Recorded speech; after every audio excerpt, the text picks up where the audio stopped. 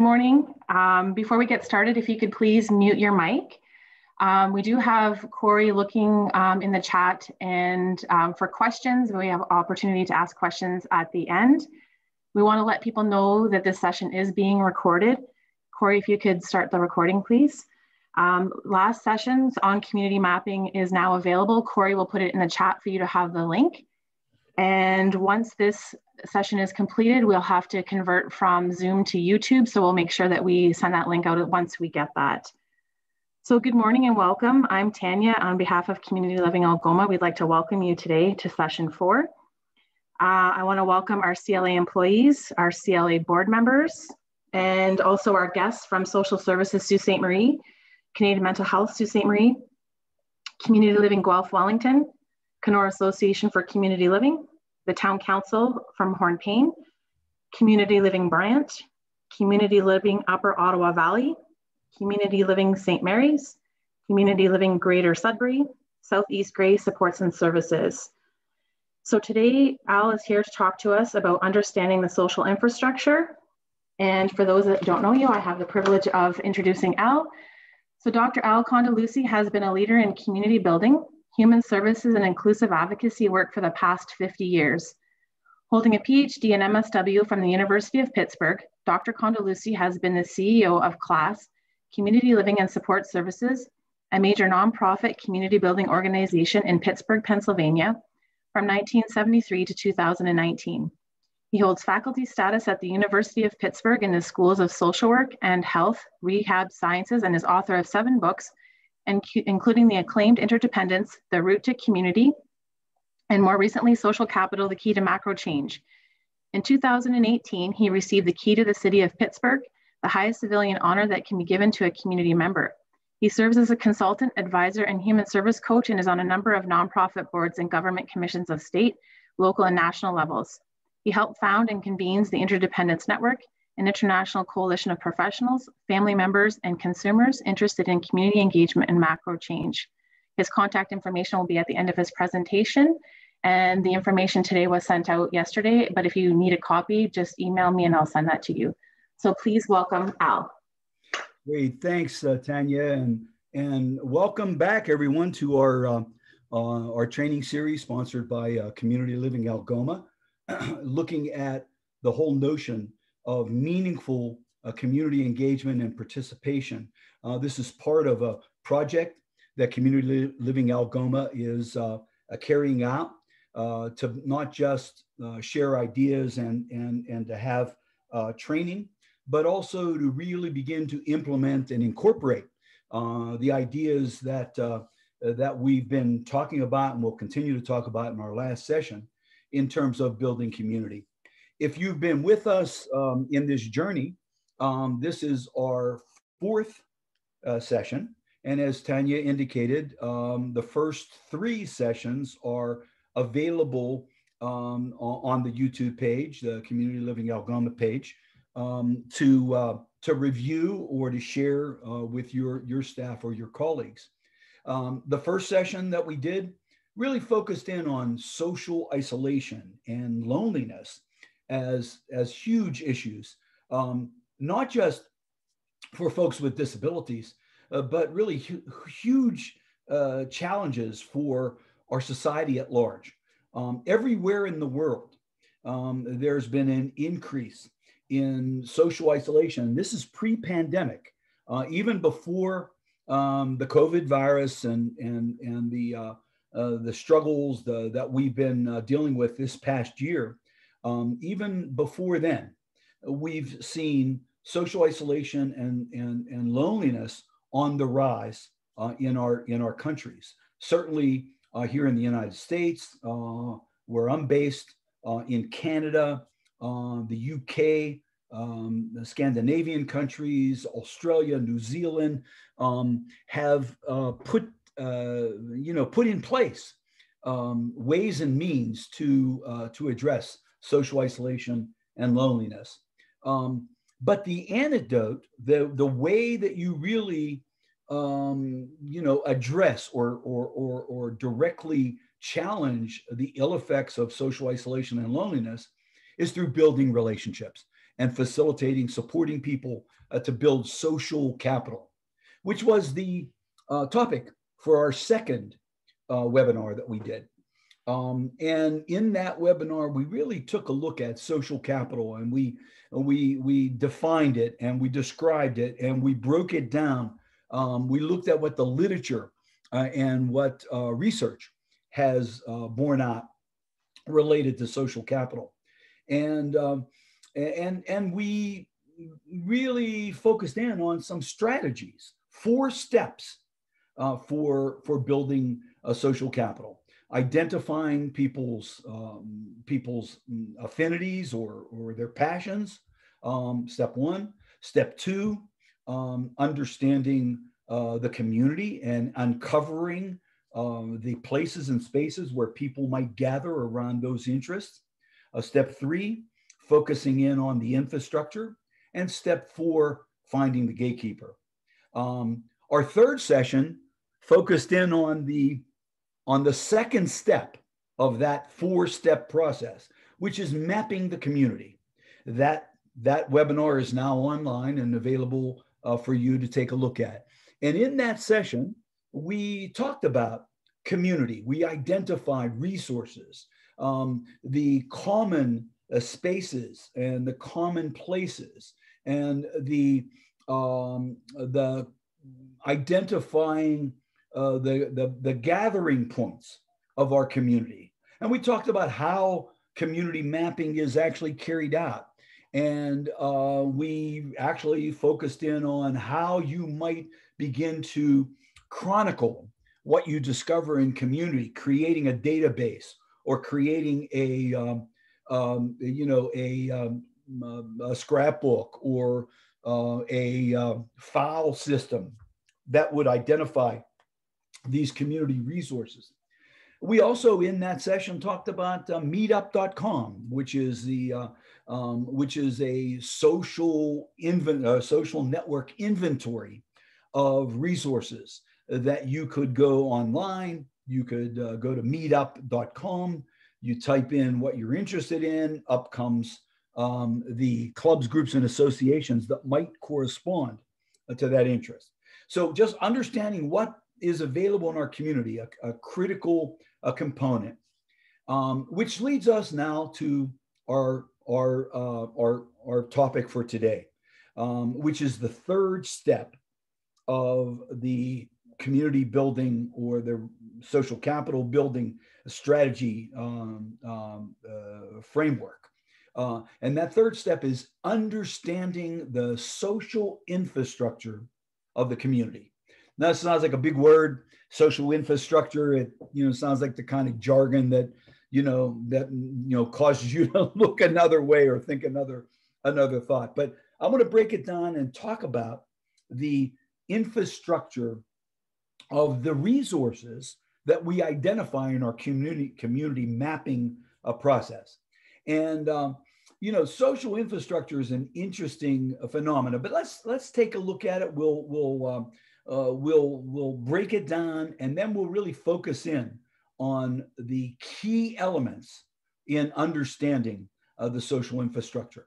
Um, you know, and all of this is done in the spirit of finding authentic or meaningful connecting points for people. And not just for people that, that have disabilities, but for any of us finding uh, meaningful places to connect and opportunities where people could build uh, relationships and and and uh, trusting uh, connections with other people is really the you know it's the it, it's the bottom line of this entire training series that community living algoma has put together. And it's also the bottom line for the project uh, that community living algoma is embarking on in terms of identifying some folks that they serve and really looking for those authentic opportunities uh, for community building now in this entire uh, process in the first three sessions that we had, and obviously in this session as well. Um, we really need to delineate between micro approaches and macro approaches. excuse me, one second. Yeah. What? I need this. Hurry up. Um, excuse me. Yeah, yeah, yeah. Here's the book. Okay. I need it. I, okay. I'm getting nervous. Okay, here you go. Uh, honey, uh, I got, I'm sorry. I got, I got to get back here. Okay, hurry up. I'm sorry. okay, I'm sorry. Excuse us. That was my my wife had a um, had to make an, a, a, critical appointment and needed some information, and so she's gotten what she needs. Um, the micro and the macro approaches is where we were, and it's really important that we understand that micro approaches are things that we do individually with people, or to people, or for people. Um, the other side of this dimension is the macro approach. And the macro approach is really where we're focusing most of our attention as we think about social infrastructure. Um, but both of these approaches um, are critical if we're going to really facilitate meaningful uh, opportunities for people uh, to engage. And the ultimate goal, which we talked about in our second uh, webinar, is uh, building relationships, social capital and and uh, having the folks that might be on the fringe of society or on the on the borders of community um, have a chance to become um, active members that begin to build meaningful relationships in those situations. Now, social infrastructure is not social capital, right? It's the physical conditions where social capital uh, develops, right? So um, the idea of social infrastructure really speaks to how community resources behave, what they do, and how they do it. Um, and it, it, it also recognizes the stuff that makes our communities uh, successful. Um, and so this idea of social infrastructure um, grew from the um, uh, from the work on social capital, the academic work on social capital, because you know you can't build relationships unless uh, unless there are clearly welcoming um, elements in the infrastructure of that community group. Now, this will make a little more sense as we move forward, but you know when people gather, um, there's a couple elements uh, that play in there. Uh, obviously, a place to gather becomes uh, becomes critical and that place needs to be accessible welcoming uh, comfortable uh, non-intimidating right and then and, and the hospitality of the gathering includes um, the um, you know the nurturing and the feeding of people and and the uh, uh, the, the the fact that people feel like they're apart, like they belong.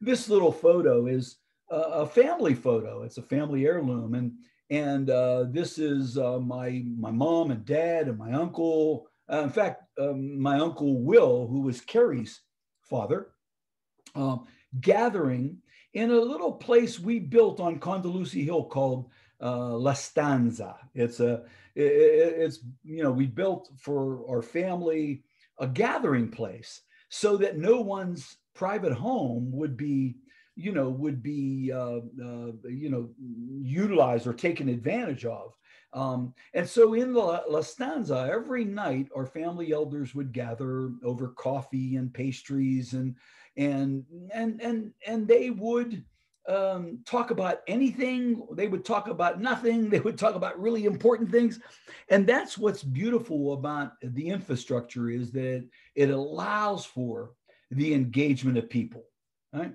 And there's a relationship between you know when you build connections with people that good things happen and they happen to you um, so understanding the way community manifests is really our topic for the day.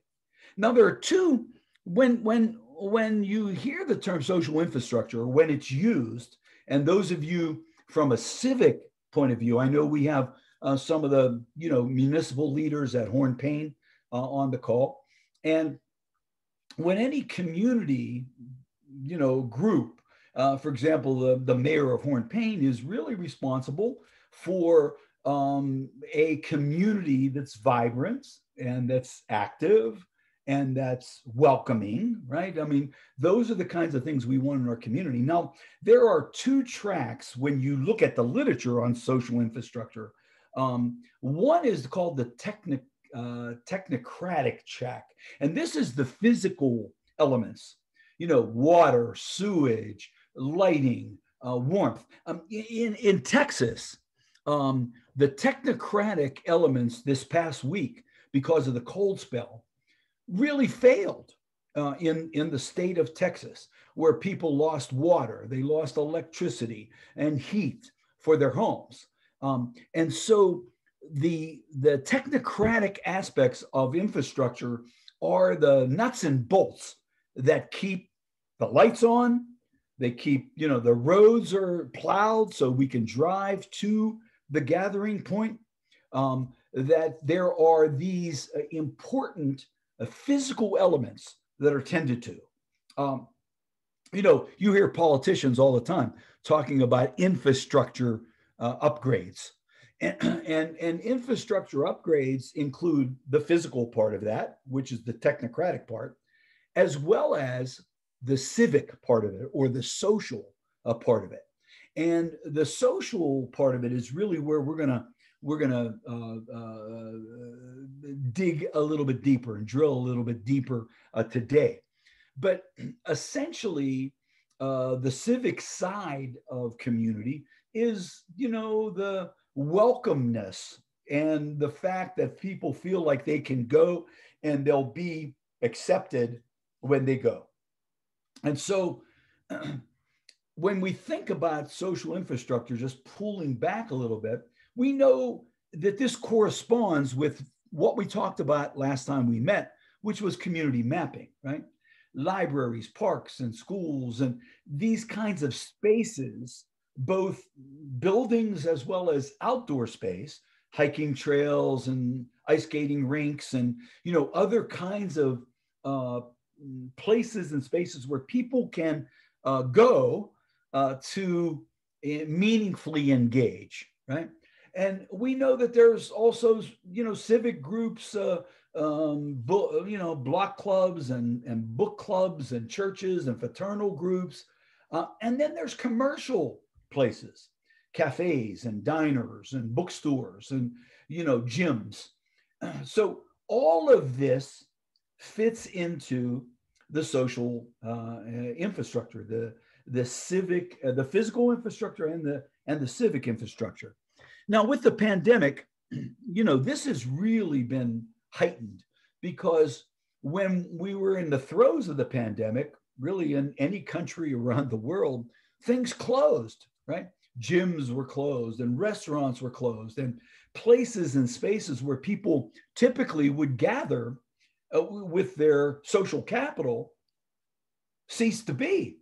And and and you know this caused tremendous angst every one of us on this call were, you know, were um, influenced by the fact that we could not be with our social capital. It was, it was, it, it really, really, I think, uh, awakened uh, our our cultures uh, to the importance of connection. I mean, we know that mental health issues uh, have have have gone up that that people uh, depression levels have have risen as as folks have been stuck uh, at home and and so these kinds of important uh, elements um, of, of the infrastructure of community are really important for us to understand Social connection is based on the vitality and depth of the close and direct intercourse and attachment.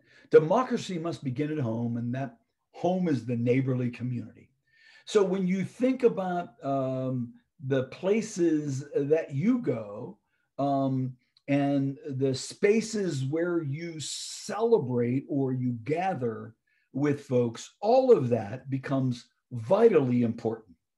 Now, when we begin to drill down here and we begin to think about um, what's the stuff that um, is in the civic or social infrastructure of a group of a of a uh, uh of, of any of those clubs groups associations or places of gathering.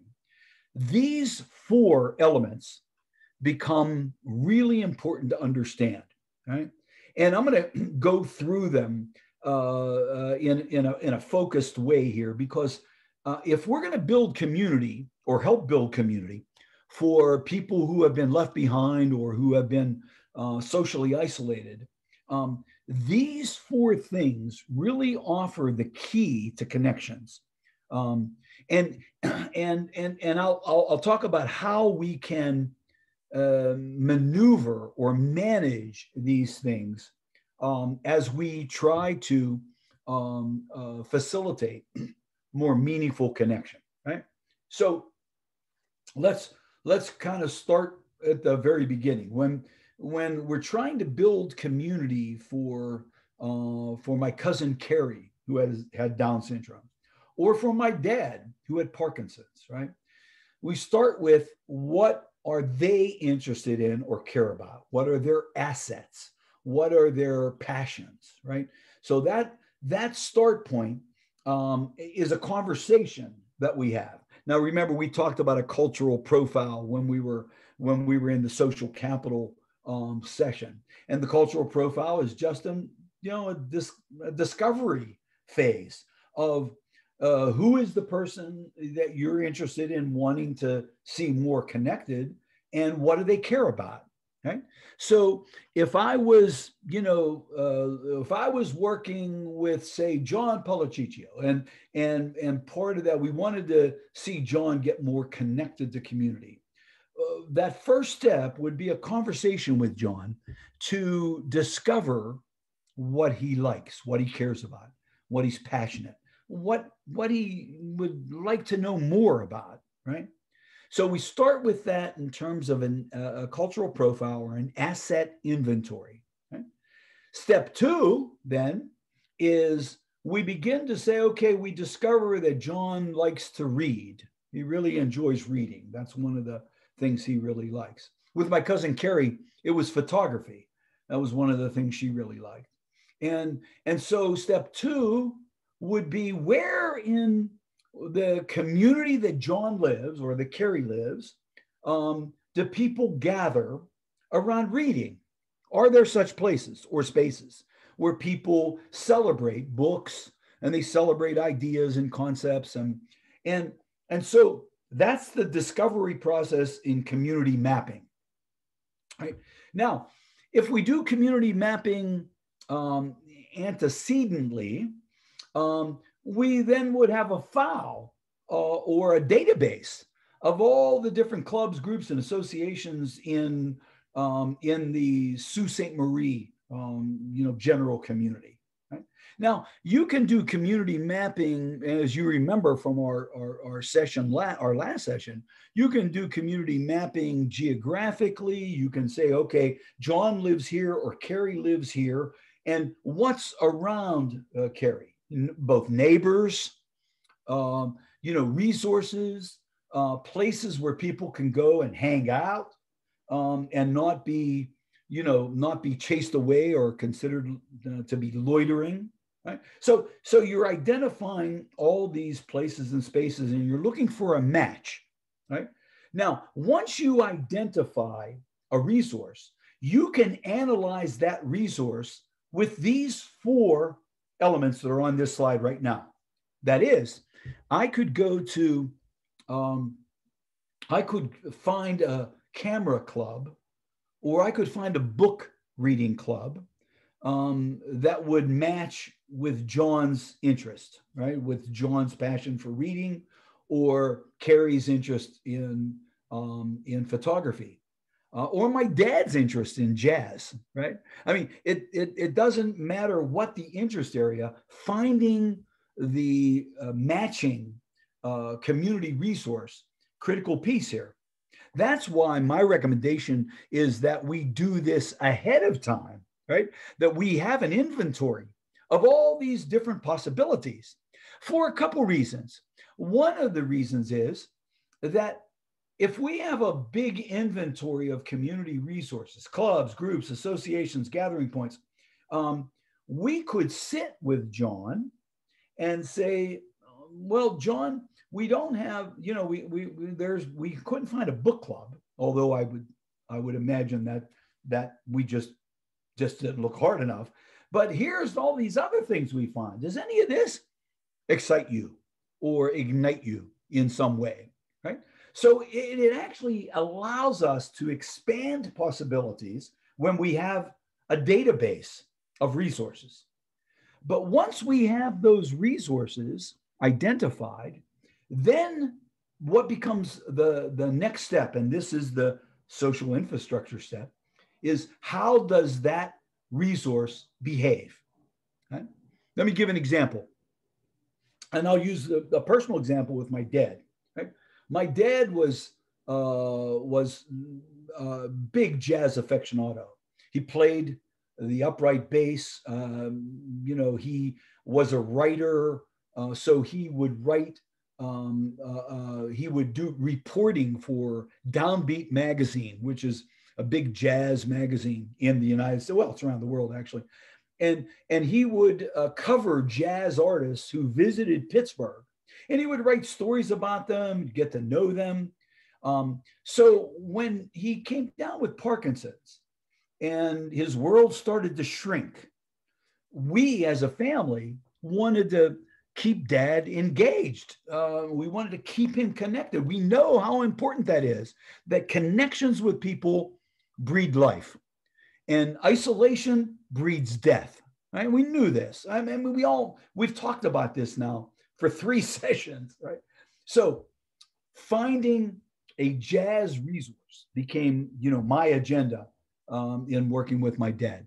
And, uh, and so I discovered uh, the Pittsburgh Jazz Society. I never knew about them. I discovered them basically in, in, in a search. Um, I was at a, I, I went to a jazz club and, you know, I, I was talking to regulars and I said, you know, there, you know, jazz clubs are great, but are there places where people actually gather, you know, to talk about jazz? Um, and you know, people told me, well, the Pittsburgh Jazz Society. I said, wow, I didn't even know. And so I, you know, looked it up and discovered that they meet every Sunday night at a at a little lounge in in a Holiday Inn out near the university uh, called Jackson's. It's a little, just a little like you know club, uh, um, and and so I went to Jackson's, right?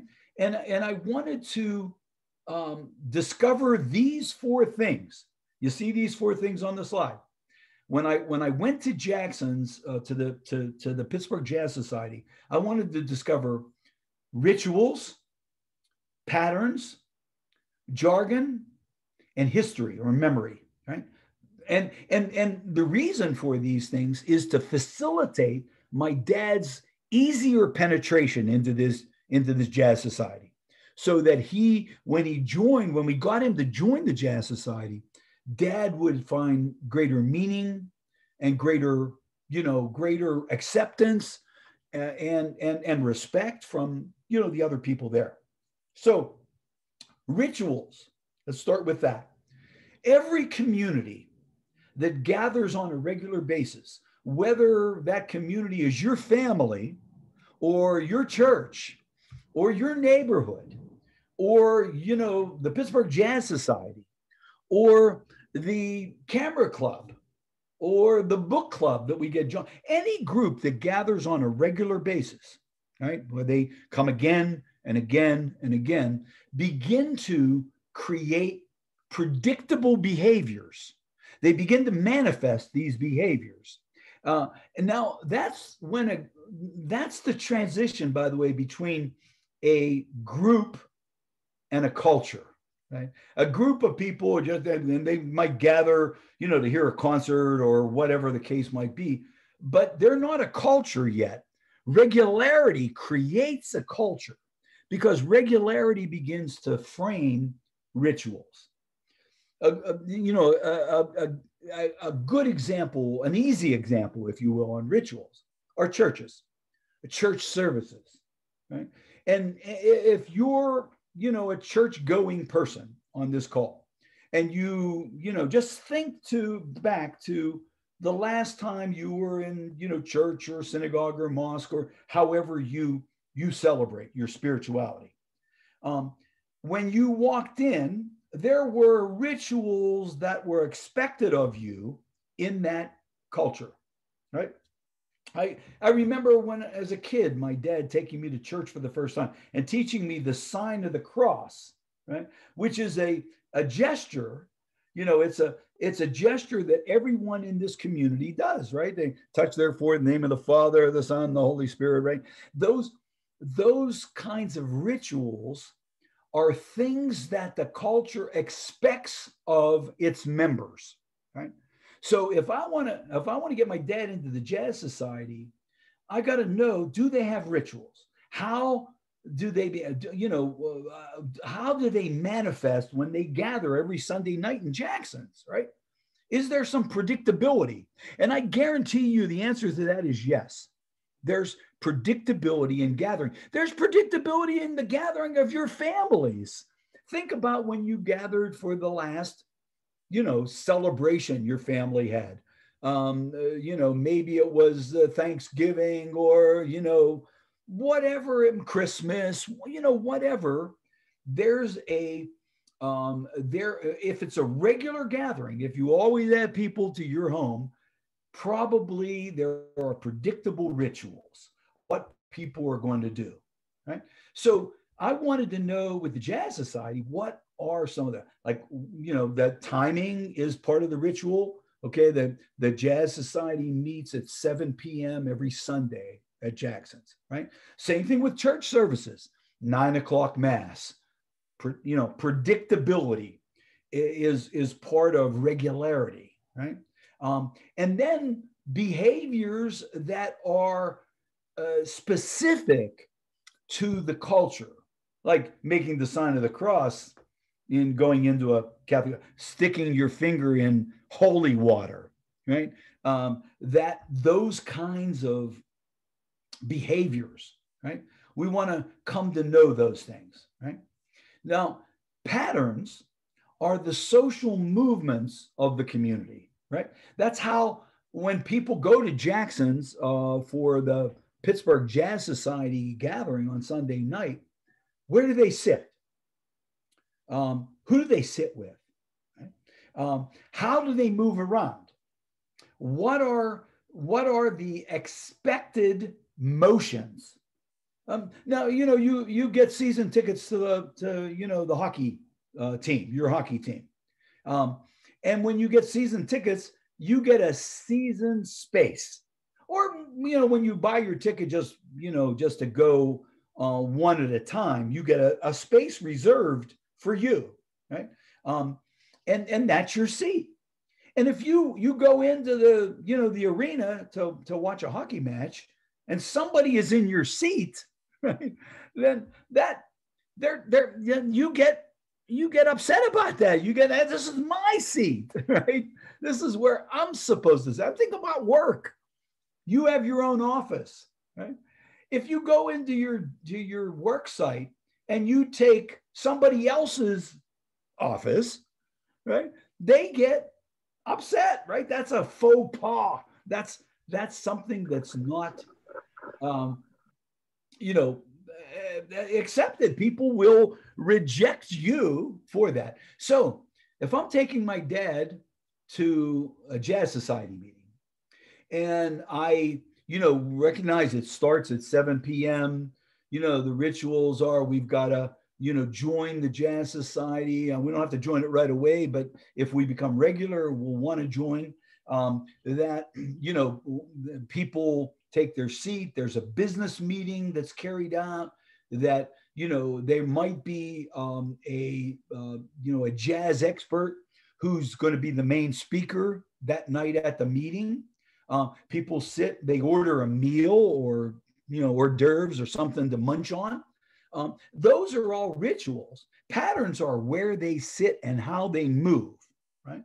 Now, uh, you know, in church, this is also so predictable. Same thing in community, in your neighborhood. You have your yard, right? And and if you start and go into somebody else's yard to start a bonfire, you know, they're not gonna they're not gonna be happy about that. Uh, uh, no matter how neighborly they are, if you're starting to use their space, right? So understanding the importance to be accepted requires that you understand the rules of the game. That what's what what is expected to be a member of the Jazz Society? What's expected to be a member of the book club? What's expected uh, to be a member of a community, a neighborhood? Right? What's expected? Cut your grass. You know, make sure you trim. You know, trim your hedges. Those. Uh, you know, some places might even have rules like homeowners associations.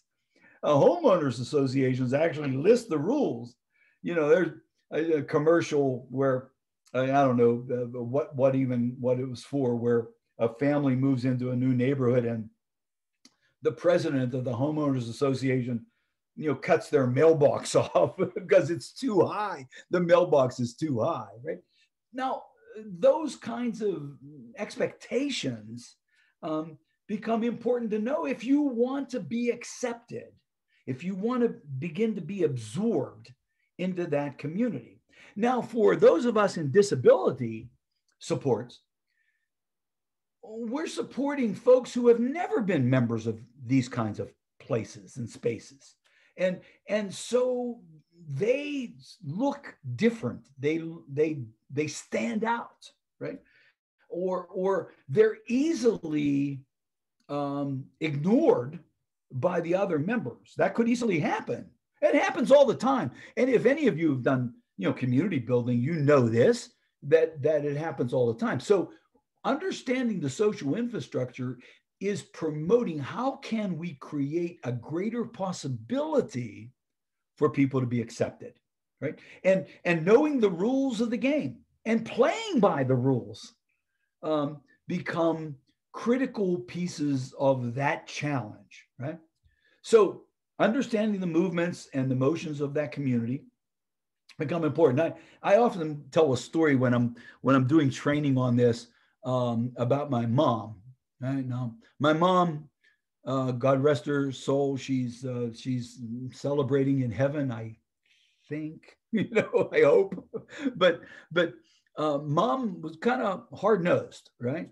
And um, when my dad died, um, you know, when my dad got Parkinson's and was you know my mom was the primary caretaker for dad and and so she dropped out of everything one of the things she loved to do you know when dad was alive was play bingo my dad didn't want to do any of that uh, but my mom loved playing bingo and she would go every wednesday night to church our church mother of sorrows church an italian uh, parish um, would have, you know, their regular bingo, raise money for the church. My mom was regular, she never missed. Um, and if you ever have been to a regular church bingo, you know people have their lucky seats. I bet you you might have your lucky number when you go to the casino and if you're playing roulette, you know, and you bet your lucky numbers. So, we, you know, humans are like that. We, we're, we're sort of patterned. And, and so my mom you know, w- when, you know, would go to bingo, she would always have her regular seat. She would play, you know, five cards and, you know, the whole routine. So when dad got sick, mom stopped going and, uh, and, and, you know, basically dropped out of the bingo culture. and, uh, and so dad, you know, after, you know, about seven, eight pretty, pretty challenging years, uh, passed on.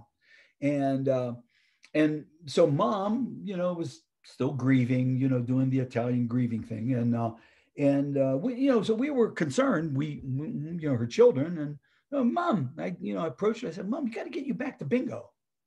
She said, ah, I don't know. I said, come on, you know, what, you know, the, why just sit in the house and watch the, let's, let's go back to bingo. So I got mom to go to bingo and I went with her on the, uh, the Wednesday night and we we walk into the bingo hall, the social hall at the church, and um, you know, there's a there's rituals in bingo. If you've ever you know been a regular, you know how that goes. And um, so my mom, you know, went to her lucky chair, her regular seat. Now these are you know just long tables. You know how uh, church bingo looks, right? And so mom went to her lucky seat, and I said, "I'll go get the cards." And so I went up to get cards from my mom and me because I was going to play too.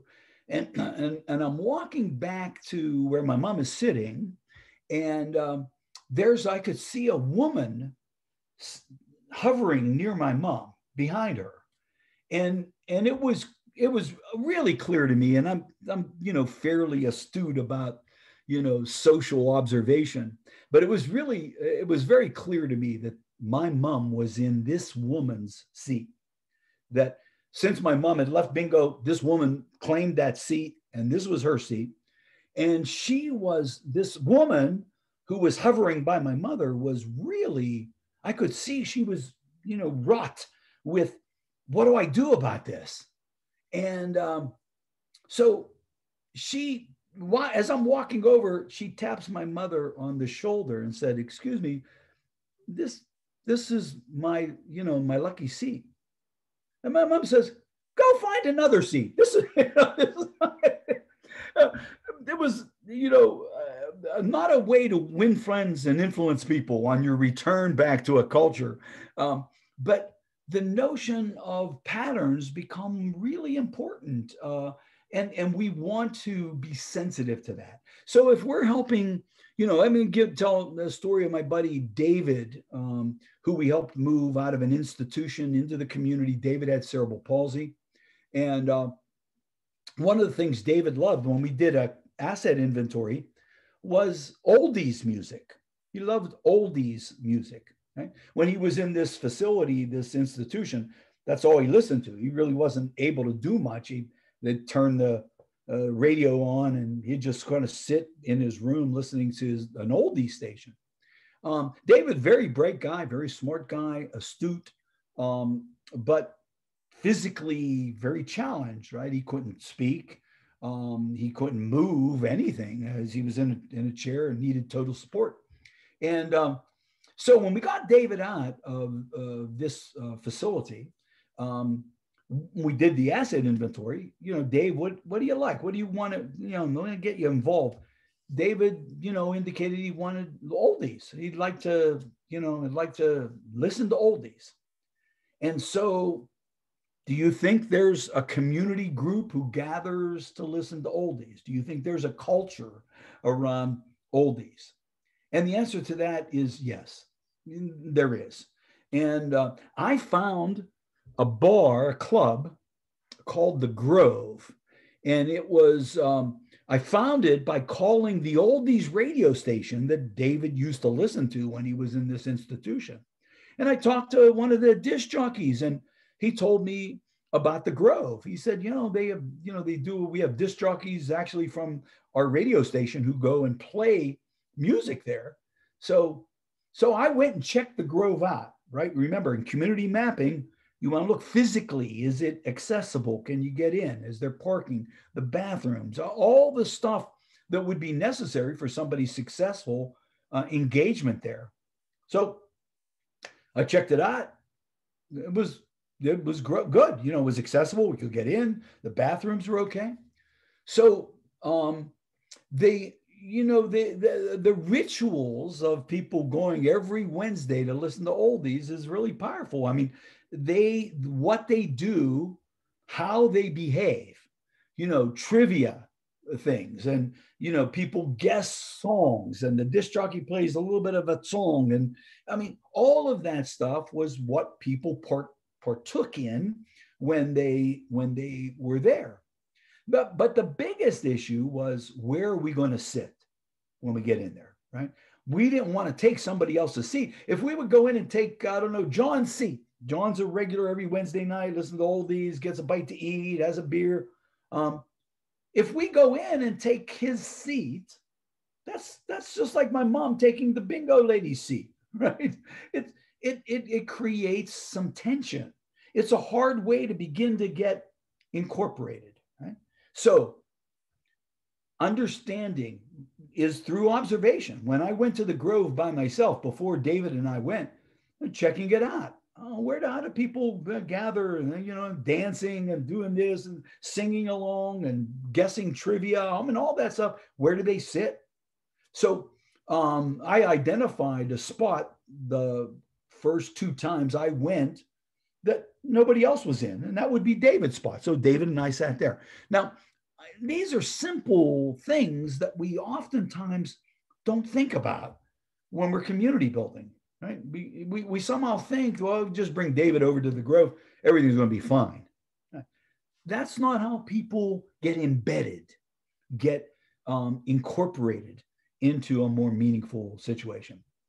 Third issue jargon. What are the words, the technical words that relate to whatever the gathering point is? And every every group, you know, in church, if you go you regular going to church, there's words that are specific to scripture and to and to um, you know the routine. Um, and and and the more you know the words, or understand the words, the easier it is to be accepted. Right? And then, last uh, in this list of social infrastructure uh, elements um, is memory. And memory is the history of that community. And every community has a memory. If it's a regular group that gathers on a regular basis, there is some historic trail of how that group was founded, who's played a key role in it. Um, you know, eh, your agency, think about your agency. There's a historic trail there.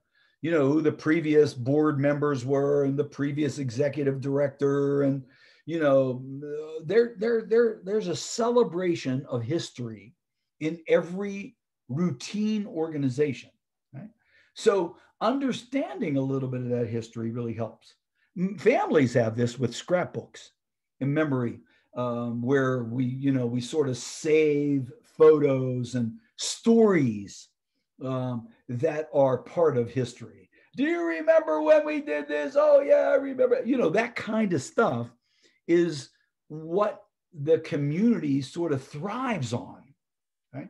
History, you know, in, endears uh, people to this community. So these these things rituals which are sort of predictable behaviors and you know religious religious behavior is a perfect example um, we need to appreciate and understand those with any group that meets on a regular basis patterns where people move where they sit you know the the the, the tv series big bang series uh, theory um, where um, where you know Sheldon Cooper, Dr. Sheldon Cooper, had his spot on the couch. That was his spot. And I bet you, if you think about your own living room, you have your spot, and the kids know it. They know your spot. That's mommy's spot. You're in mommy's chair. Oh my God. You know, the kind of reactions that happen related to the patterning of that particular community group. And then jargon are the words, the kinds of things that that we say um, that are meaningful to that particular culture. Right? And then the history, the memory of the group. Um, uh, you know who came before the gathering of the of the group. You know, here's a photo, an old, um, you know, second grade, third grade photo um, of, of school. I, I, have one just like this. This is not mine, but but I have one just like that for second grade, third grade, fourth grade. Um, uh, my mom kept them, and you know, uh, so the notion of the past of the group. Now, one of the other things about social infrastructure that's important is neighborliness, right?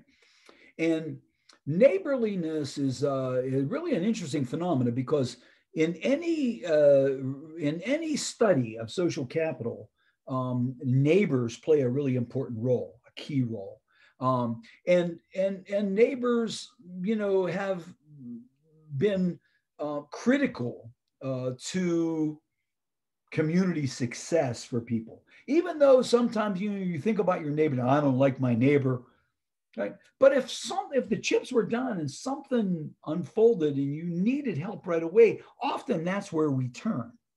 I know in human services, the work that that we do, and we help people get you know apartments or homes in the community. Um, oftentimes, the folks we support don't even know who their neighbors are. Um, I, I, I, went and visited a, a, program in Kansas City. This was a couple years ago, and and um, and and the, the people who invited me in to do some training for their staff were taking me around to show me some of the programs that they run. And so they took me to. Then we went down this really nice street, and um, the person that was my tour guide, um, uh, he said, "I bet you you can't even tell which house is ours on this street. And and so we drove down and and and I said, you know, no, you know, I can't tell. And he said, we really, really look to blend in. And we've really coached the people we support to not bother the neighbors, as we don't want them to stand out or to or or for the neighbors to not like them. So you know, we go when, when we when we come in with the van, we go right into the garage, close the garage door. Don't you know? We don't badger the neighbors, and, you know, and I and and I asked the guy, I said, well, you know, it, badgering. What what what's why would that? Wouldn't wouldn't you want to know your neighbors? And and how would we do that intelligently? And and in a way that you know that folks can be embraced um, as opposed to uh, as opposed to hiding or you know keeping you know the you know keeping a kind of a cover over the situation. So neighborliness and neighbor phenomena is something i think we need to think about in terms of a community uh, acceptance right you don't have to be loved by you don't have to hang out with your neighbors but in terms of getting to know people and having people get to know you, and especially when the chips are done, is what is what neighborliness is all about. Now, obviously, some rural areas, this becomes more challenging because there's a dispersal of, of, of space uh, between perhaps where people live and and but where we can do this, we ought to um, awaken uh, to how important it is. Now, investment in social infrastructure is something that really uh, has been studied by sociologists, and there's been um, uh, there's been you know deep thought given to uh, keeping the social infrastructure, especially the technocratic infrastructure, vibrant, right? Uh, because we know that when the social infrastructure is vibrant, is robust, um, you know people are safer people feel better about themselves on the on the other side of the coin and this slide captures what research has shown is when when the social infrastructure and again especially the technocratic infrastructure degrades bad things happen. You know uh, crime goes up distrust rises people don't want to participate as much. So investing in uh, the social infrastructure is really something that cities and communities have really attempted to uh, to address. And I'm going to show you just a couple quick examples here. Um, uh, the, the, the, this is the High Line, this picture. And the High Line was an investment, uh, you know, in New York City. This is not far from, by the way, where my son Santino lives. And he lives in New York. And and uh, and and the High Line was the uh, elevated subway in New York in this one section near Chelsea in New York City. And it was, you know, they stopped using it because it was really degrading and and you know the New York Transit, you know, found alternative ways that they could do things. And so the L, as it's known, just sat there uh, and and got worse. It, high crime and you know, drugs and other kinds of bad things uh, started to happen. And, and New York City, you know, really decided to do something about it. Rather than raise it or tear it down, they created this park. Uh, they call it the High Line. And it's it's beautiful space, you know. And in fact, neighbors actually take care of the flowers and the gardening part of it. And they do it just with pride because it's their neighborhood. And it's a place where people can hang out and be together. Um, they can, you know, have a cup of coffee and sit in the on the high line um, up above the traffic and all the, the stuff going on in New York City. And, and so it's been reclaimed as community space for gathering. Right? Uh, here's another example. It's called the Beltline. This is in Atlanta. And it was through an area of Atlanta that was blighted, a lot of crime and whatnot. And the community kind of came together and said, boy, you know, let's let's try to use this as as space that we all can enjoy. Uh, here's an example of the Anzac Bridge in Sydney, Australia. And the Anzac Bridge really not just for vehicular traffic, but also created really great opportunities for people to be able, from a pedestrian point of view, people, you know, uh, people able to utilize um, the bridge um, as, as, as, as a place to go for great views um, of the city. Uh, so, so the the the reclaiming of areas and the use uh, the the use of shared physical environment is another infrastructure um, agenda, right? Now, obviously, it's not the key point for us today, but in thinking about infrastructure, we want to make sure that we understand all the elements. So, places where people can gather and not be forced out, right? Are perceived as loitering, really present possibilities of building uh, relationships where people can can spend time together, right? So, so the common space of community, when we think about it, libraries, community centers, rec centers, playgrounds, coffee shops, community gardens, these are all examples of kind of shared space that create uh, opportunity uh, for, for greater uh, engagement among people.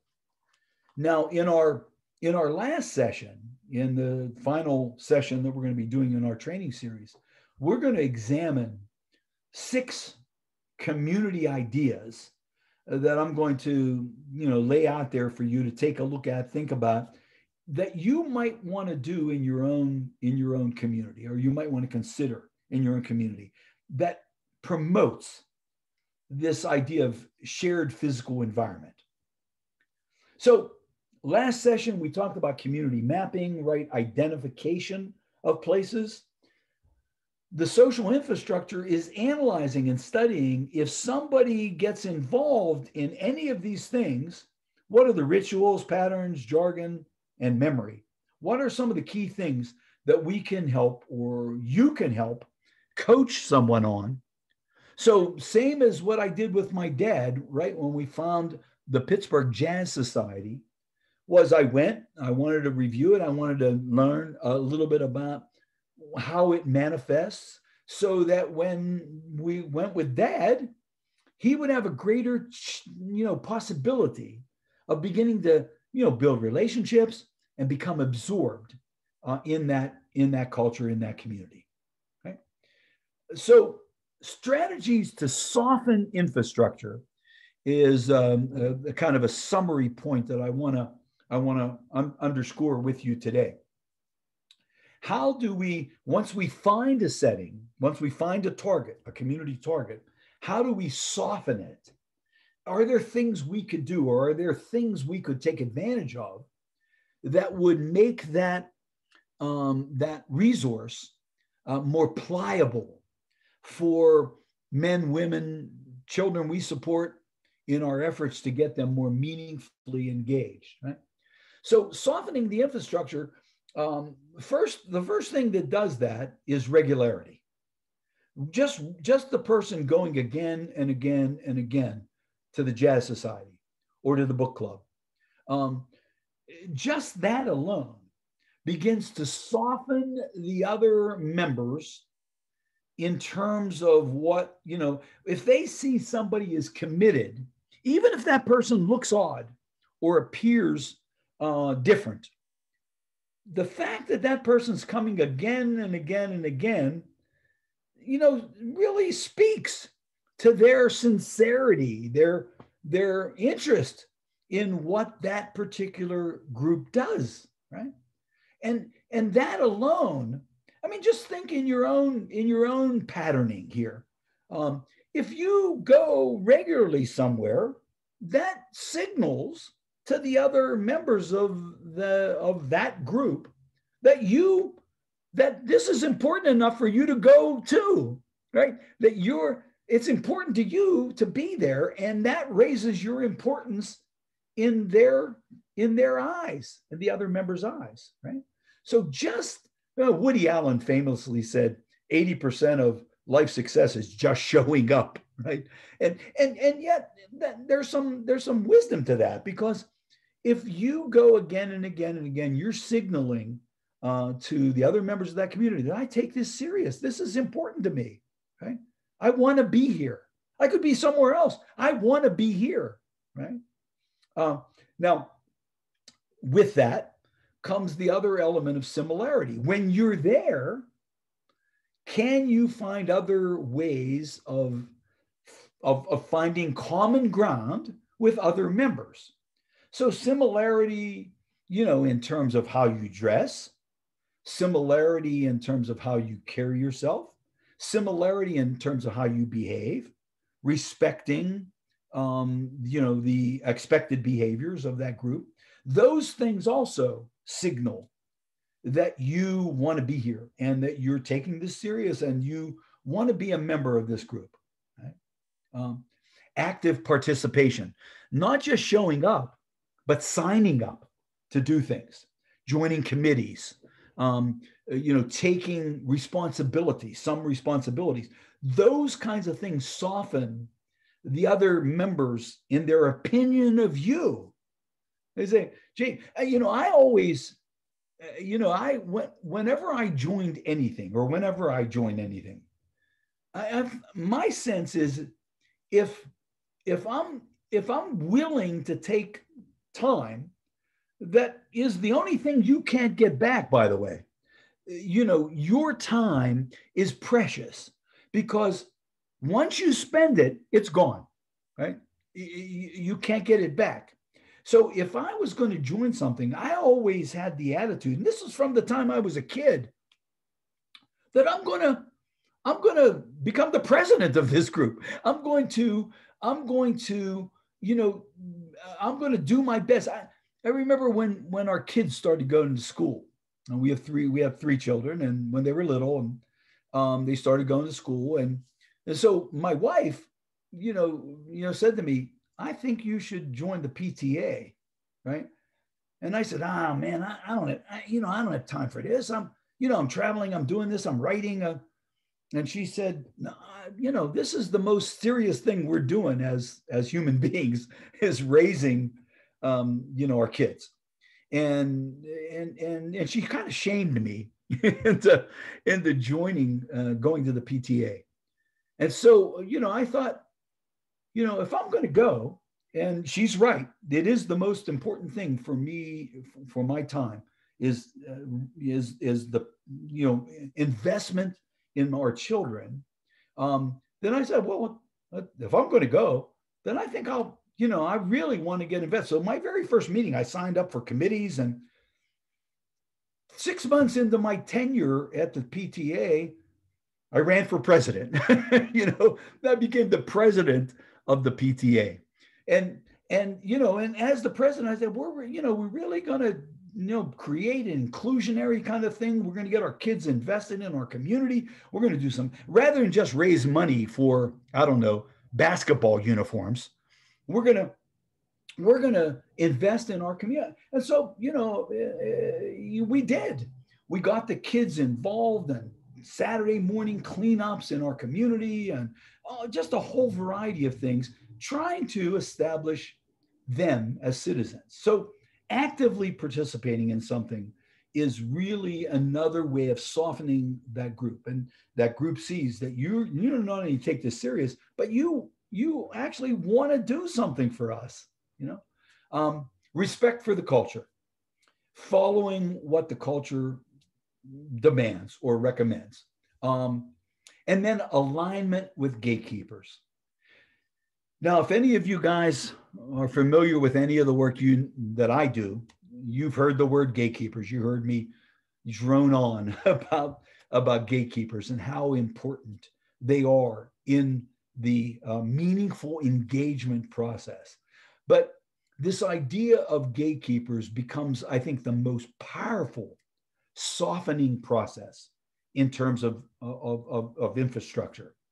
Now, the gatekeeper, as, as you might remember from previous uh, sessions that we've done, the gatekeeper is somebody already a member of the Jazz Society or of the book reading club or of the PTA. They're already a member, whatever that, that group is, and they have some influence with that group, right? They have some impact with that group.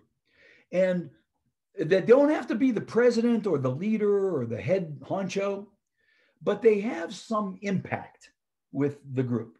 They're already a member, and they, when they do something, other people um, observe and other people notice, right? And that's called social influence theory. It's a sociological theory about uh, you know how opinions get changed or shaped um, is is through a gatekeeper right?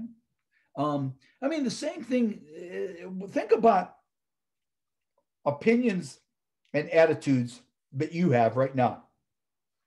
On, on anything you know politics uh, climate um, immigration you know take any any of the hot button issues and think about what your position is on that right? What your what your attitude is towards that.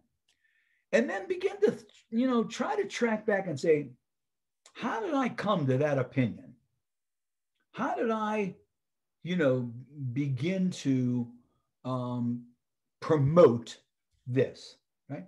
And i guarantee you for on any of that you're going to be able to track back to a gatekeeper, to somebody you knew and that you liked, that you really held, you know, held in esteem. And they held that opinion. And maybe you didn't have an opinion at all, or maybe your opinion was opposite. And then you met this person in a group or a club or whatever, and you liked them, and they had a they had a different opinion than you, right? But you really liked them. Start to think, you start to become a little more open, saying, well, maybe they're right. Maybe there's some efficacy to their point here. And, and that kind of softening of your opinion, leading you to perhaps another place, that happened through a gatekeeper. And so in community building, this is really true. When, when I got my dad to the uh, Pittsburgh Jazz Society. Now, I wasn't a member of the Jazz Society previously. I didn't even know about it. Um, and when I take my dad there for the first time, you know, my my agenda is can I find someone here in this group who I could introduce my dad to, who my dad then he that person could introduce my dad to the other people. So when when I went for the first time by myself uh, to the Jazz Society, ch- check it out, and uh, um, I met, you know, the this person that was in charge of membership, and they they scoped me out because they thought they wanted me to join, you know, and so this person. Uh, I started talking to this person. I said, you know, nah, you know, I'm, I'm, i really like jazz too, and I'm going to come with my dad. But I'm, this is really for my dad. I want to get my dad you know, to get involved in some things. He uses a wheelchair and, you know, he, he has Parkinson's, but he loves jazz. And in fact, let me tell you about my dad. And I, I told this membership chairperson about my dad that he was not just a jazz man in terms of playing upright bass, but he had written for Don, you know, DownBeat magazine. He interviewed Duke Ellington and Ella Fitzgerald and Stanley Turrentine and these jazz greats. My dad actually sat with them and did interviews and wrote articles about their performances in Pittsburgh. And this membership chairman, when I was telling her about, about, this, her eyes, she said, Your dad met Duke Ellington. I said, I said, Yeah. She said, Oh man.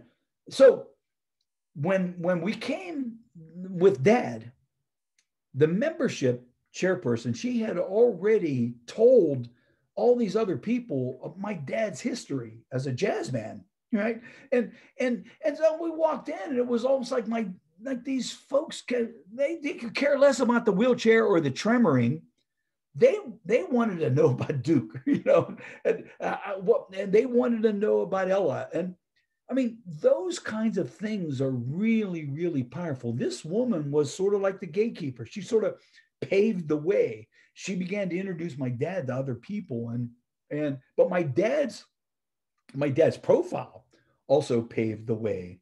Now, that may or may not be an issue that we're looking at when we're community building, um, but you know, recognizing what causes people uh, to in you know to to open up, to soften up. Right. So when we think about identifying gatekeepers, there are some variables, observable variables that um, that people show that might suggest that they would be a suitable gatekeeper for you to introduce the person you're uh, bringing or supporting uh, to this community resource, right? Here are some things that we know um, about people willing to take social risk, people willing to uh, open the gates to communities that they're members of. People who are talkative, outgoing, uh, expressive, sort of entertaining, sociable, uh, people who mix well, people who have some charm about them. There's something about them that's really charming, you know, to, to you. You observe that. Um, these kinds of variables are ones that can identify who that gatekeeper might be, that you might then introduce the person you're supporting to them. So, through their introduction of the person you're supporting to the rest of that community, softens that community. Now, remember, those other things are equally important regularity, committing, um, you know, being act, finding other similarities, being actively engaged. All of that are all of those behaviors are, are, are things that soften as well. And so enlisting a gatekeeper is really as simple as just asking, right? Um, uh, you know, I, I know when when I was talking to this membership chair uh, um, at at at the Pittsburgh Jazz Society, you know, I just said, "What? Well, if I brought my dad over, would would you introduce him around? You know, you know everybody here." And she said, Of course I will. Yeah, I'll be happy to. Just asked her to do it because I couldn't. I couldn't introduce my dad to, to that audience because um, I didn't know them, right? I was there to support my dad, you know, make sure that he was comfortable. Um, but, but I, you know, I, that wasn't my job to, you know, begin to get him known there. Right? So this this notion with the gatekeeper, the, the, the, the theory behind this, and this is a this is a big word. You can see here, value juxtaposition. It sounds like a big word. It's a simple concept though. Value juxtaposition is simply when people are juxtaposed or connected. If somebody is valued and they're juxtaposed to my dad, my dad's value starts to rise right? So if the membership chairperson is liked, everybody likes her, and she's with my dad introducing him around, other people notice that and say, gee, he looks strange. He's in that chair and he's shaking, but he's with Mimi and we like Mimi, right? So, so the the notion of identifying the gatekeeper becomes, I think, the key infrastructure element in in our work. So you know, every accomplishment starts with uh, the, you know, the decision to, you know, to give it a try, right? Um, and where you are shapes who you will be. I mean, this is really a powerful quote. Stop and think about this quote for a minute. It's by Eric uh, Klinenberg, who wrote a wonderful book, by the way. In fact, it's, I think, the definitive book on social infrastructure. It's called Palaces for the People. Palaces for the People. And, and, and, you know, Klinenberg, you know, great examples of, of, of, of social infrastructure ideas. But look at this quote where you are shapes who you will be. Right? So the notion of people being a part of something uh, beyond who they are right now positions them to a better place. Okay? So let me just finish with this, this quote from a, another, you know, wonderful um, purveyor of community. His name is Peter Block. Here, here's his book. This book is wonderful. It's called um, The Structure of Belonging. The Structure of Belonging, right? How do you belong to community? It's by Peter Block. And Block is, you know, out of Cincinnati. He's really one of the, the you know, most forward-thinking proponents of community. And he says here the need uh, to create structure of belonging grows out of the isolated nature of our lives and institutions and our communities.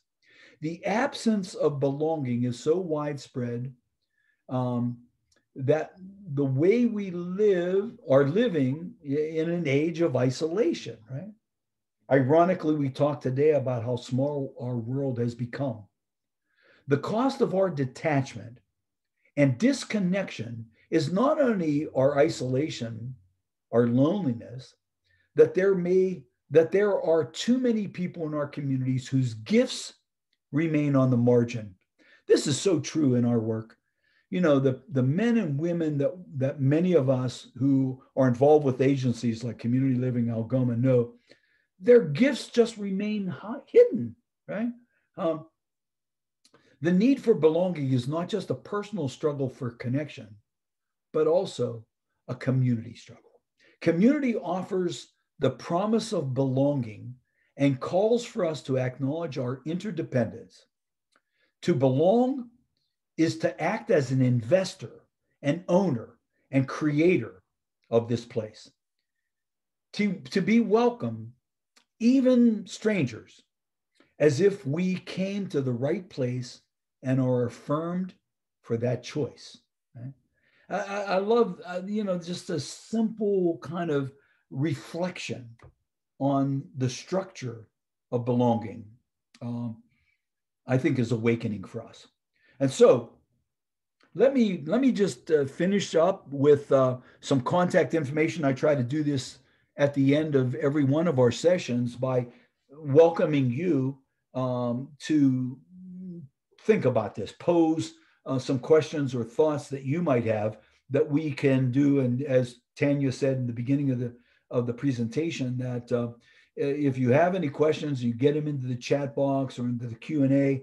Um, uh, we'll have a chance to review them. But if if, if right now, but if if you didn't get a chance, or if you don't have you know an opportunity to get a question, or if we don't get to your question, please know that you can pose it to me. Here's my my email address. I'm happy to react or respond um, uh, to, to you know the thoughts that you might have uh, about this.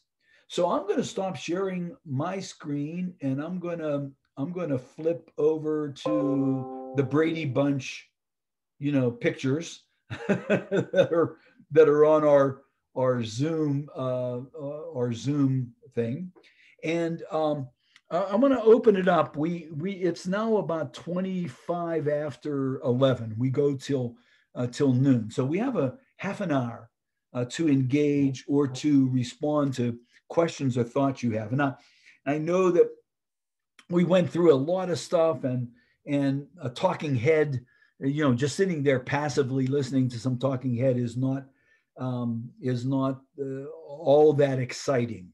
But this is an opportunity now for you to raise a question if you haven't already um, in the chat room.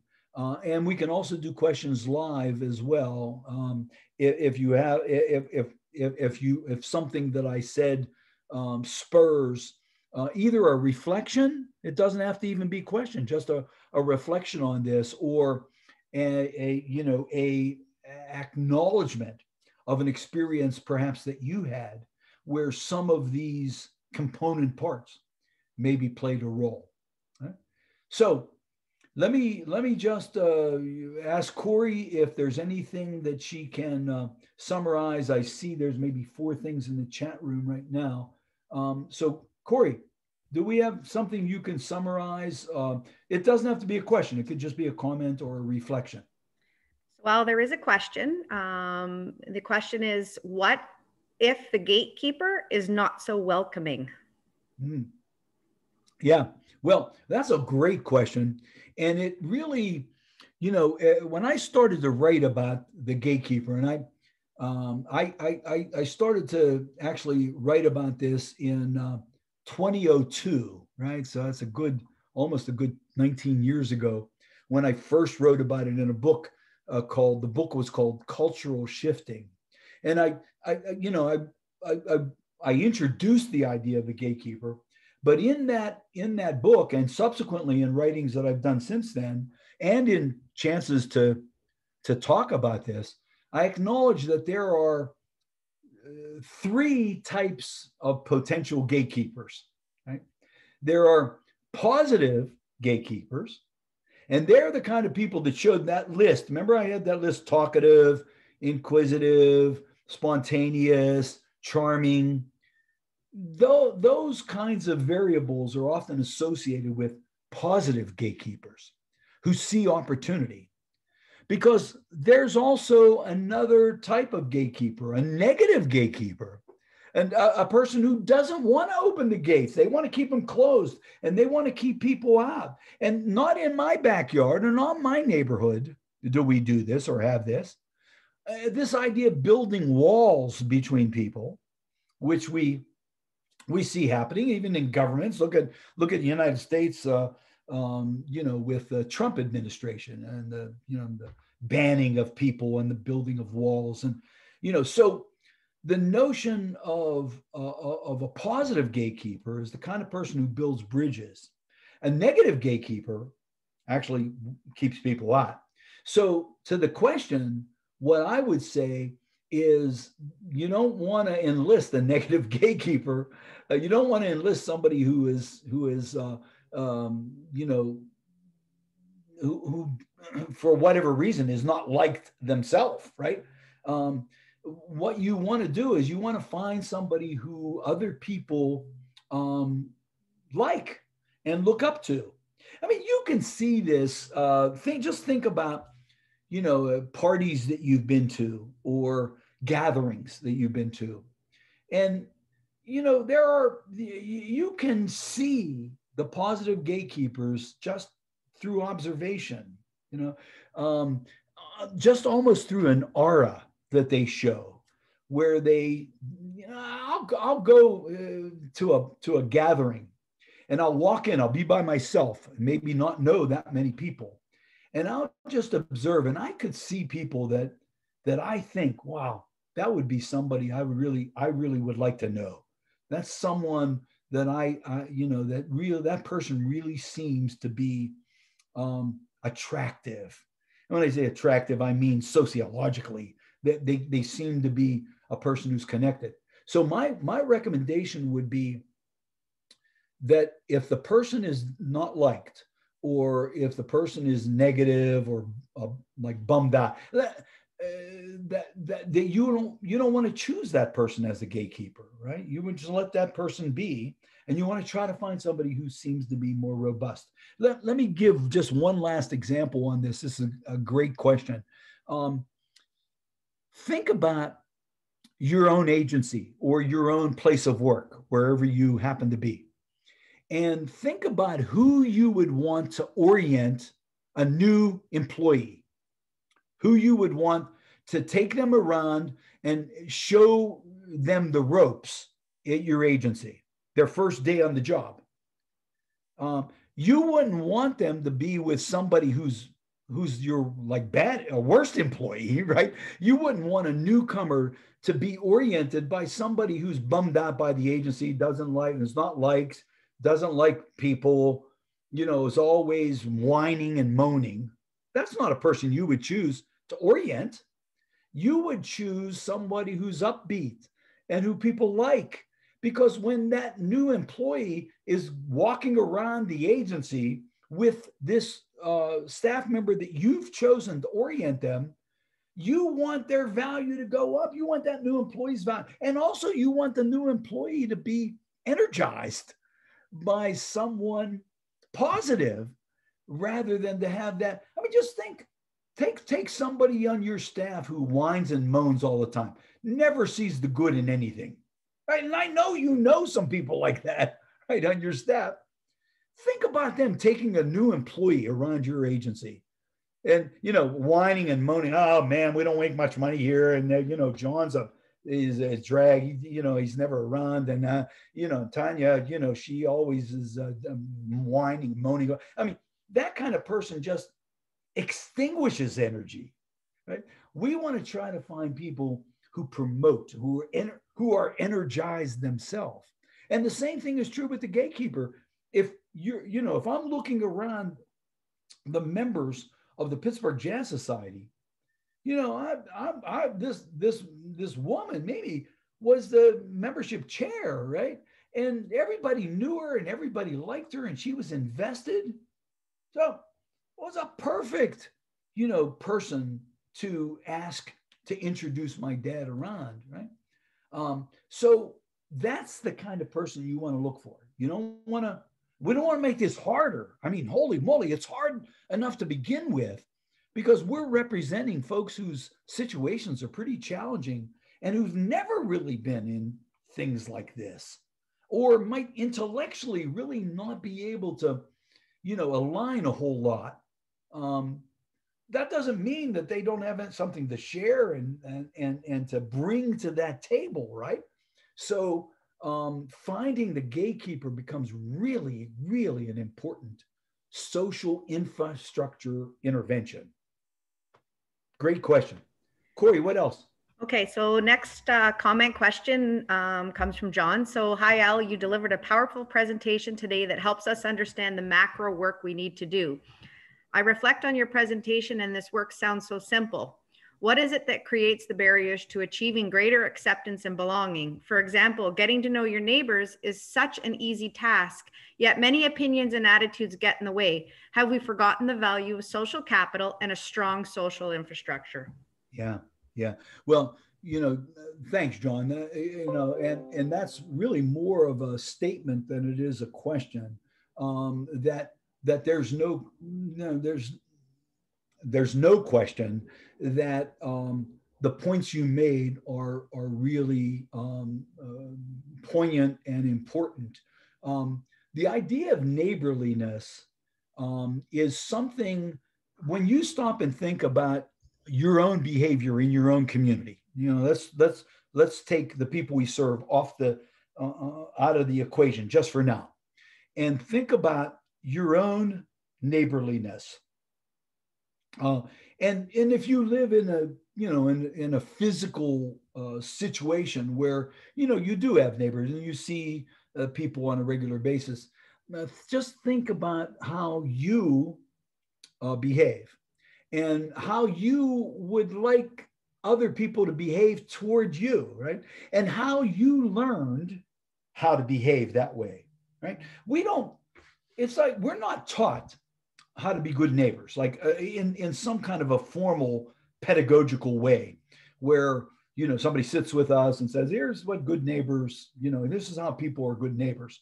Um, we learn to be good neighbors through observation and often through observation of our moms and dads, uh, observation uh, of other people that um, that we're we're uh, impressed by or that we are enamored uh, by.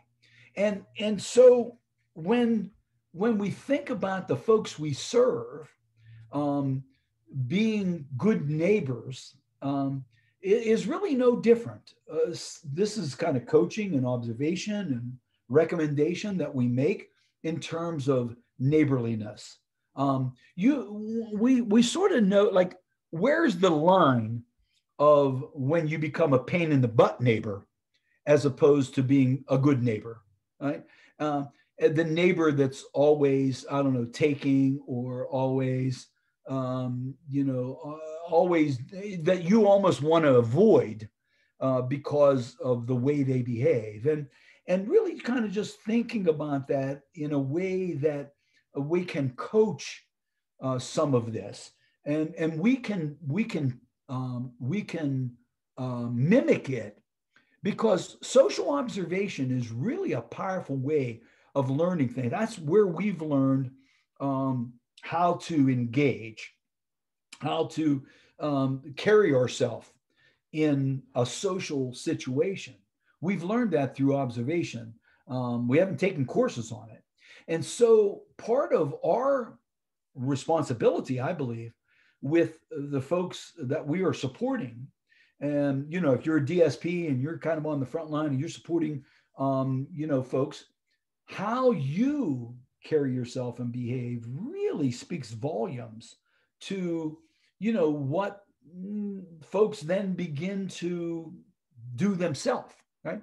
So your modeling and your coaching and your recommendation when somebody just becomes too friendly too quickly you know that that that, that there there's all these sort of uh, pieces of that puzzle um, but I think neighborliness is really, really an area that we've kind of forgotten, that we haven't really looked at. Social capital theory talks a lot about neighborly neighborliness. Um, Putnam, in fact, John, you remember that when you know a number of years ago when when when when I came up a couple times to uh, Algoma uh, to Sault Ste. Marie, and and we had conversations with with our staff about this uh, we did the social capital benchmarking survey.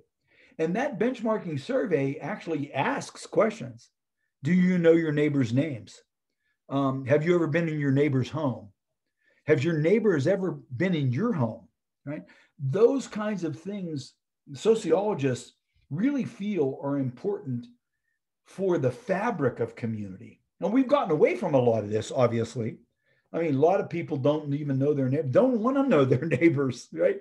Uh, they say that out loud, and um, and and and and so I think there's a, there's so much to this over and above the strategies that we're talking about in building community for folks who have been left behind. Um, and and I think it's really pause for all of us to reflect and to think about our own behavior because in the end that's that's the thing that we really that's the only thing we can control um, we can't control other people and we can't force other the only thing we can really control is how we choose uh, to behave and um, and so i think the reflection on social infrastructure and these ingredients that that make up social infrastructure uh, are really important uh, for for reflection Corey, what else? Okay, still quite a few more, Al. So the next one is in smaller communities, how do we balance the desire for people to participate without overwhelming the activity with our own unique culture? Yeah, yeah. Well, that's a that's a, a, a fantastic question because we've been guilty. Those of us in human services who have worked uh, who work with agencies that support folks, we've been guilty of um, not not um, of, of, of, of, of uh, what's the word I'm searching for here of, of not doing uh, the right thing there, of taking groups of people places and as opposed to the individual kind of thing that, that I think is required here. Um, and, and so in this community building agenda and initiative, one of the things that we want to do in our project, in the project I mentioned when we started, um, is really identify a group of people we're serving right now. And with, we're looking at 10 people, actually, we're going to try to do this in a, in a thoughtful, um, almost research oriented way. And with these 10 people, we want to provide wraparound services so we can in individualize this as much as possible. And rather than bring groups of people places, we want to go one at a time because we don't want to overdose or um, over influence, you know, a, a resource with five, six, seven people with disabilities from, you know, community living Algoma who who you know are now going to this um, you know camera club or you know whatever whatever the resource is. Um, so we we want to really try to individualize as much as we can uh, so that when when the person we're supporting penetrates into the new new resource um, the other members of the community don't see them as well, that's a community living Algoma person. Uh, those are CLA people, you know, eh, which is what we've heard, by the way, um, from, you know, community citizens was that somehow, some way, um, men and women with disabilities have gotten, you know, typecast as clients of community living Algoma. Um, so we want to we want to really be thoughtful and intentional here and individualized as best as we can. Um, on the other side of the coin, we know by doing that, because we have ratios of staff support, um, there are other people who might not get to go or go as as often to some place that they're currently going to. And, and so I think, you know, in some ways there's trade-offs here.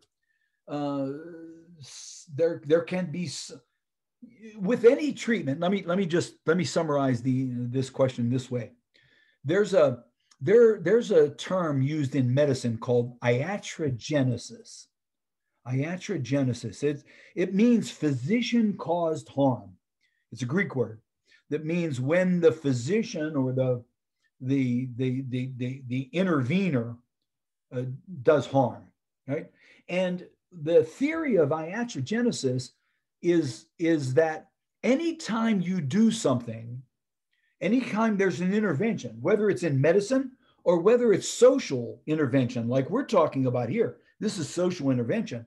Anytime you do an intervention, there's good things that can happen and there's potentially bad things that can happen, right?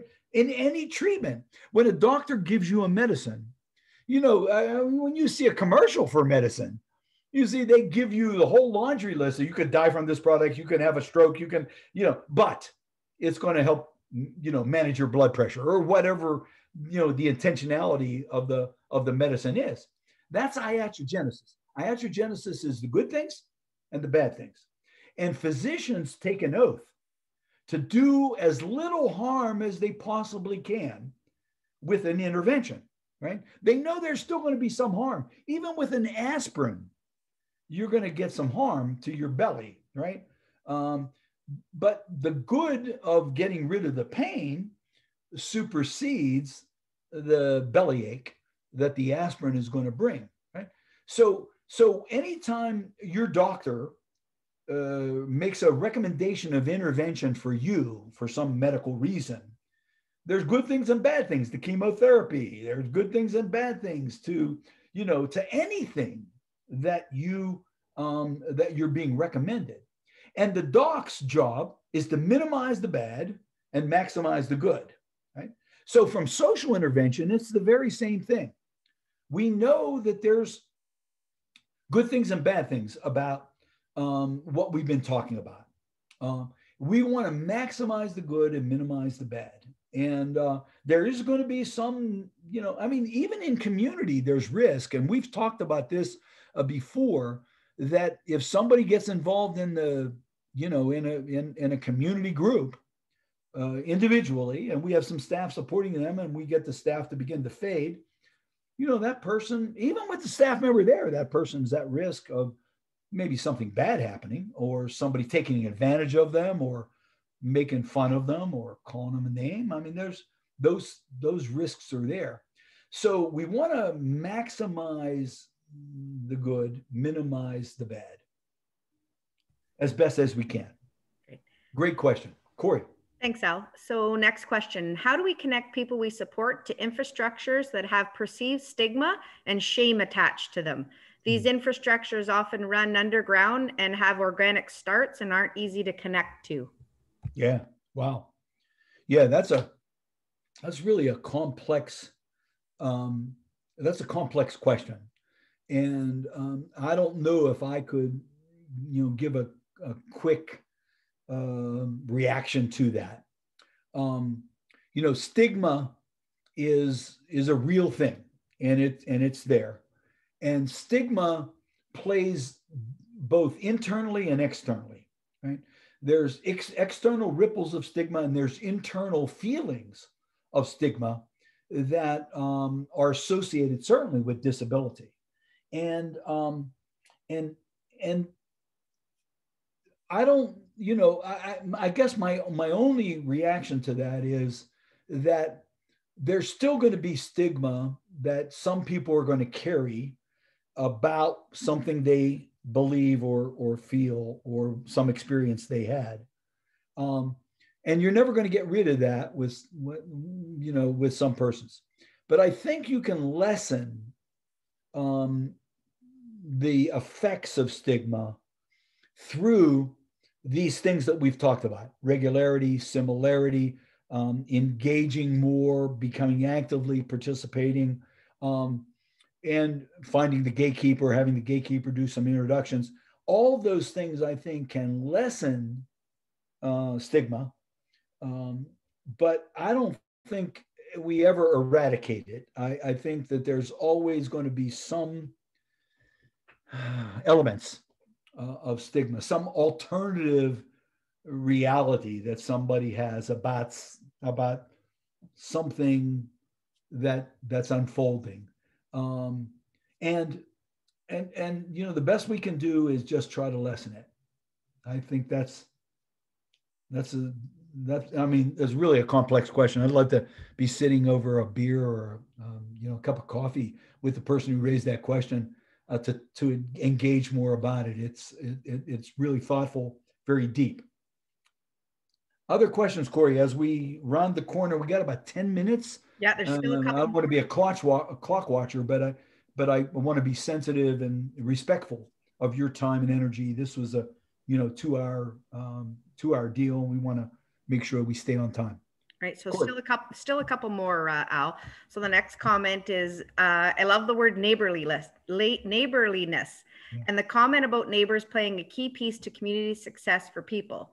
COVID has confirmed how lonely people are and how important it is to be connected to unpaid supports. We have a lot of work to do, but I'm excited our focus is on connecting people to getting to know their neighbors. Tanya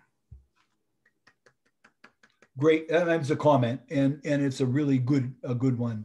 Um, that that there's there's no question of our all of our faces have been rubbed in the the elements of isolation and loneliness. I mean, this pandemic, if it you know it's affected all of us more ways than we really know and uh, i think there's going to be ripples and you know things are going to be different going forward um, but I think the the what we learn, what we've learned uh, from this pandemic is is also um, an awakening, an awakening for all of us about how important we are to each other, right?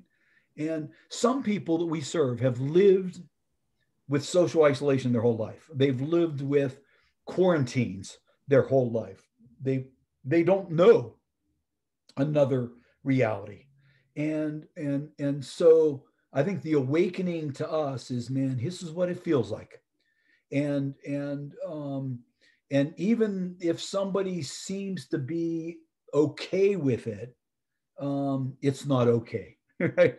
And and and and so maybe maybe renewing our passion for each other and for how important we are to each other um, is the lesson we can take from from this experience with COVID, and and and to you know to do our best that we can, not just as staff members, but as community members and neighbors and, and family members and friends with other kinds of uh, people um, uh, in our networks and and and just be just be a better friend just be a better a better human being. Great great point. Corey, last, um, last comment. So it's also very important that once the groundwork has been laid with the neighbors that it's important to continue fostering that relationship I'm involved in a local community gardening group, and we have learned the hard way how we can inadvertently offend our neighbors by not maintaining and fostering the existing relationships. And we had to work really hard to repair and renew those relationships. Yeah, yeah. I mean, again, another another great comment. Um, you know, it's really interesting that with that gardening uh, experience that the, the person who raised the question brought.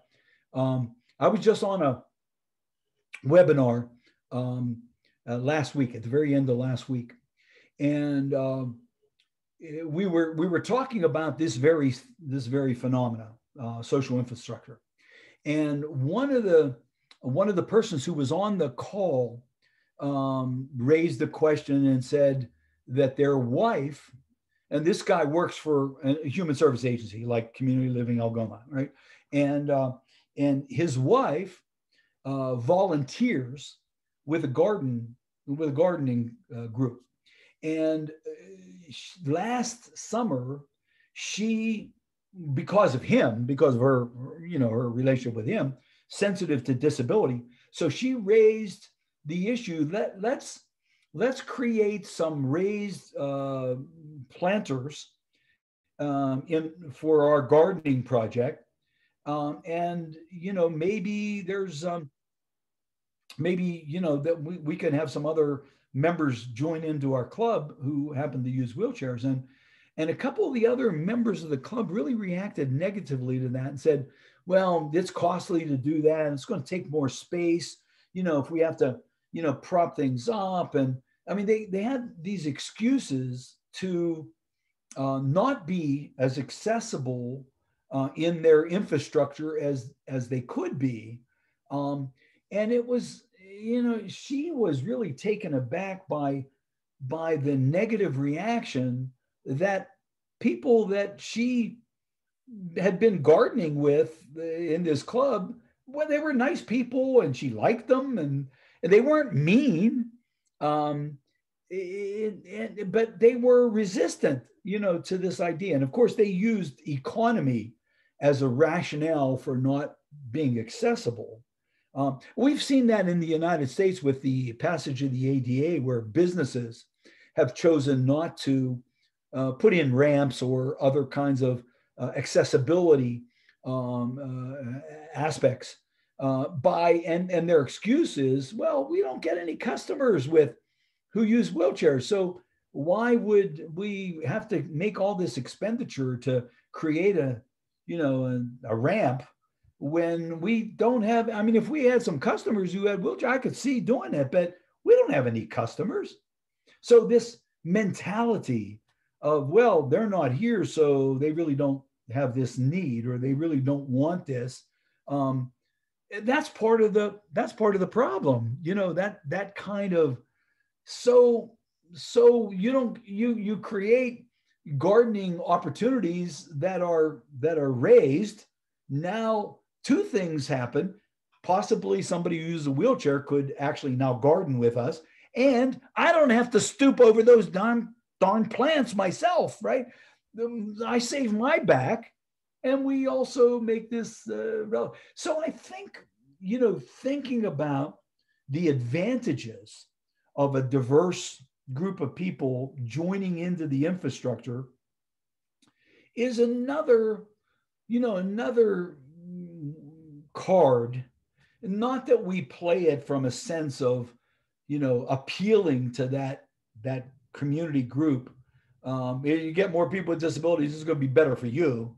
Um, but I think somehow, some way, planting that seed that when I get to meet somebody who's different from it, it just it's better for me. It makes me a better person. It broadens my own perspective, and um, and and get more thinking that way.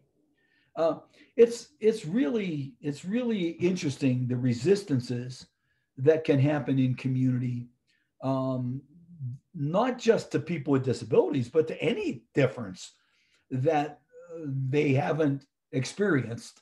Um, and you know, I think the other the other piece to this is um, disability advocates. I'm, you know, I, I was I think I was mentioning to our leadership team in our project that I, I found an article about a about a uh, an initiative that was happening in Houston, uh, done by uh, folks in the intellectual disability community to create a uh, bar, a club, a, a, social, like a disco, um, for people with intellectual disabilities, where they can be safe, uh, they can come, they can have these uh, mock drinks, and listen to music and dance, and and not you know not feel threatened.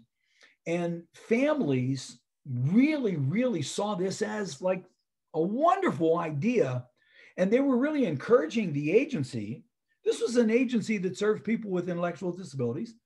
They were encouraging them to do it uh, because they really felt that their sons and daughters just weren't going to be successful um, in a in a regular disco or bar. And that kind of backlash is out there.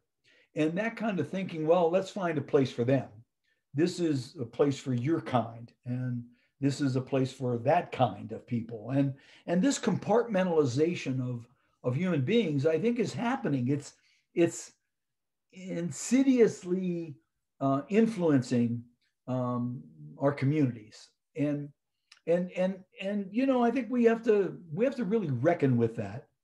Um, is that good for our community uh, to have a little disco for people with intellectual disabilities. Is that, I mean, is that, you know, or is it better to sensitize and create the infrastructure in our existing discos so that people with intellectual disabilities can participate and have fun and be safe? You know, um, it, it, it's a challenging, challenging question. I, and we're not, you know, we we're not going to answer it with our, our session today. I think it's something we have to continue to reflect on. But I think we've gotten the majority of questions, Corey. And uh, if there's anything else that anybody has on the call, doesn't you know doesn't really matter where you're from or or what the question is, please feel free to uh, drop drop a note to me. Um, uh, I'd be happy to engage with you about that. Um, also know that we have one more session coming up. Um, it's going to be our last session where we're going to look at six ideas about community building, little projects that we can do in our own communities uh, or consider in our own communities um, uh, that we we might you know we, we, might reflect on. I'm going to lay out these six ideas, and then we'll have a chance to uh, talk about um, about them and maybe others that you might have, other ideas that you might have uh, as well.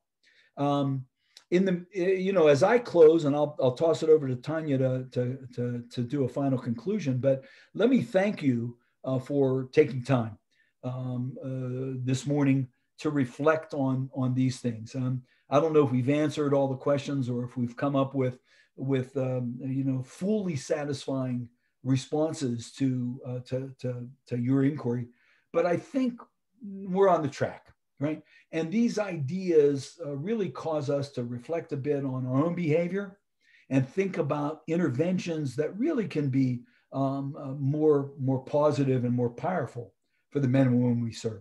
So I'm going to thank you for being here. I want to thank Tanya and, and, and John, Community Living Algoma, for sponsoring this. And we'll look forward to, I don't have the date, Tanya can give you the date on our final. Um, yeah. Just thanks a lot. Well, thank you. So this session, like we were saying, is going to be recorded. And once we convert from Zoom to YouTube, we'll make sure you have the link for today or anyone who wanted it, who can't or couldn't attend today, we'll make sure they have a copy of it. And um, session five, macro change, the key ingredient for community success is on March 9th from 10 to 12 Eastern Standard Time. So thank you, everyone, and have a great day. Thank have you. a great day and a good week. Thank you so much.